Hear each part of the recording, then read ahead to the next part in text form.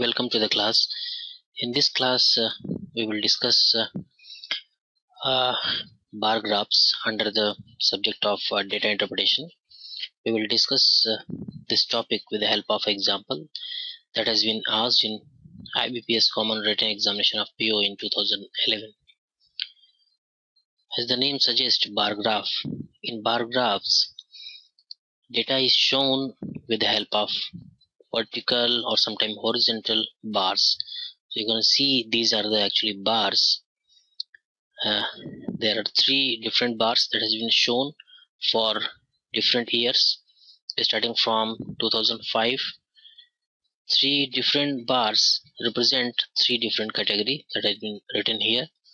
So let's first read the heading of this uh, bar graph because uh, the heading of any uh, graph indicate the kind of uh, data that has been mentioned in the graphs. So this data is about number of students in thousands who opted for three different specializations during the given five year in a university. So data is about number of students in thousands so starting from the year 2005 in the x-axis years are uh, drawn 2005 6 7 8 9 and on the y-axis number of students in thousands are drawn. So specializations are hindi english and mathematics which are shown with these three different type of bars. So in case for the year 2005 number of Hindi students are 5000 number of English students are 35000 number of mathematics students are 15000 so and according for accordingly uh, these figures are for 2006 and for 7 8 and 9 so once you have understood this uh, bar graph we can go ahead with the examples. The first let's take the first example that is the question number 46 question number 46 okay 46 question reads as out of the total number of students who opted for the given three subject in the year 2009 38% were girls. How many boys opted for mathematics in the same year so this shows that in the year 2009 out of the total students that means in this figure out of the total students that means students from hindi english and mathematics 38% were girls. That means 100 minus 38 that is 62 62% are boys out of the total. So we have to calculate how many boys opted for mathematics in the same year.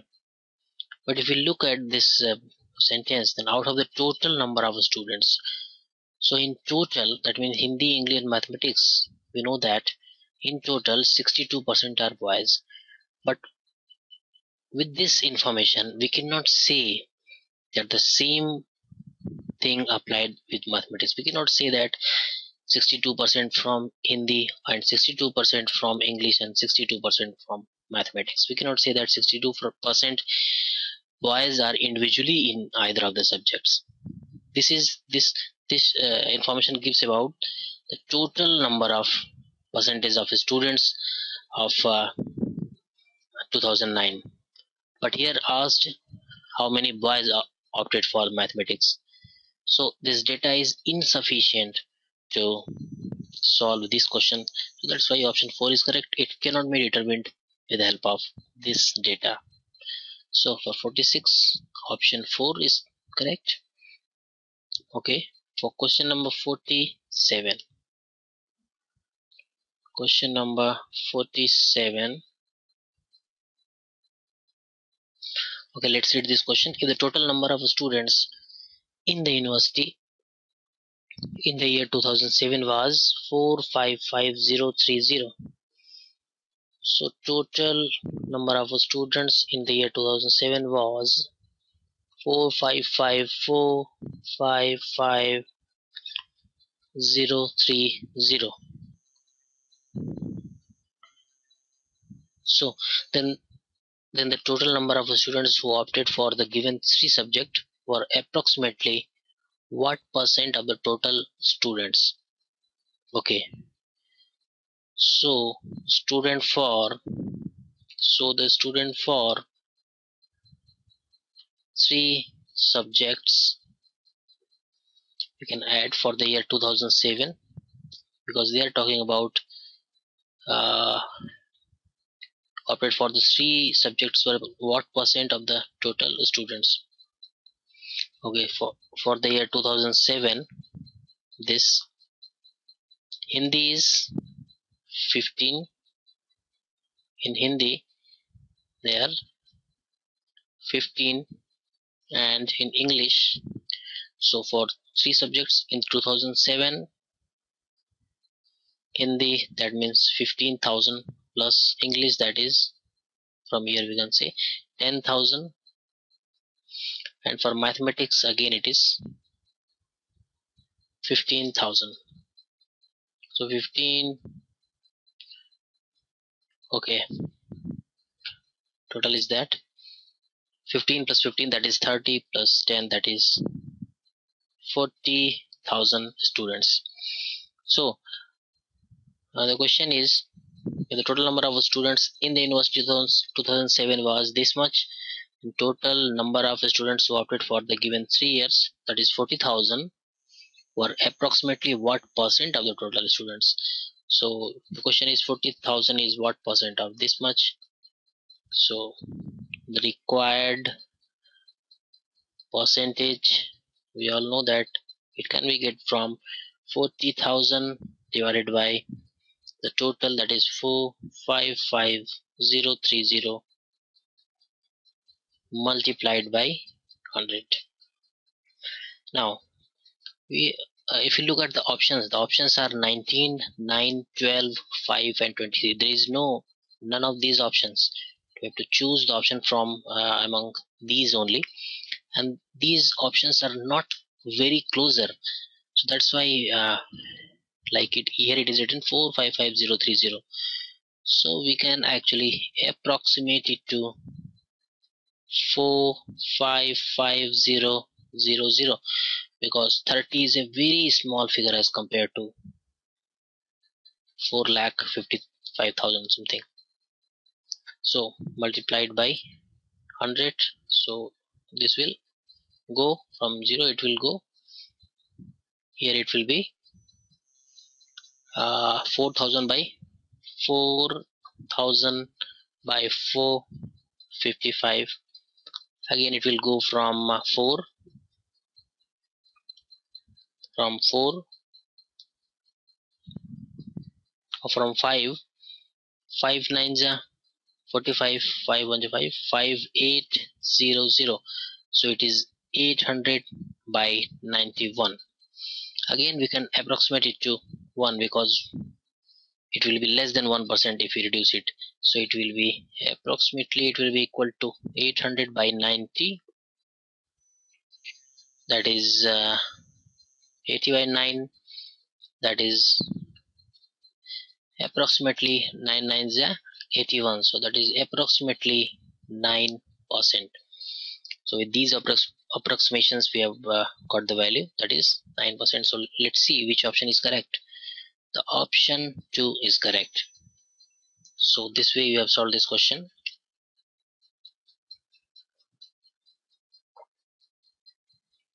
Okay let's go ahead with the next question. That is the question number 48 question number 48 what is the total number of students who opted for Hindi and who opted for mathematics in the year 2006 2007 and 2009 together? So that is a very simple question. We have to add the number of students in the three in in the three year for two different sub subjects. So we have to here get students in Hindi then students in maths for the year 2006 2007 and 2009 so number of students in Hindi in 2006 we have to see for this bar. Hindi that means this much. Hindi 2006 that is 5000 5000 Hindi in 2007 2007 Hindi 15000 15000 and Hindi in 2009 this much that is 20,000 20,000 for maths 2006 for maths this bar this bar that is 35,000 35,000 for 2007 the maths this bar is 15,000 uh, same as uh, Hindi. And for 2009 maths is 5000 okay. Now we have written all the figures for Hindi and maths. So simple question is total we have to total it because the question is